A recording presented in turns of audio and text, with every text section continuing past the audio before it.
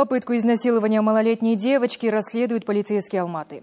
Инцидент произошел в одном из торговых центров. По информации, 33-летний мужчина хотел надругаться над ребенком прямо в женском туалете.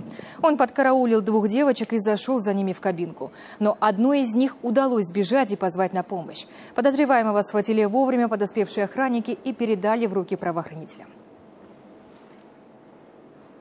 Вот. Попытка не успела, она девочка начала кричать. Охранники отреагировали, по рации сообщили, прибежали, задержали. Вот это тот пример, когда четкое, ясное взаимодействие, буквально в течение двух минут все это произошло, и в течение пяти минут преступник был уже передан. Сейчас задержанный находится в изоляторе временного содержания. Им оказался уроженец Актюбинской области.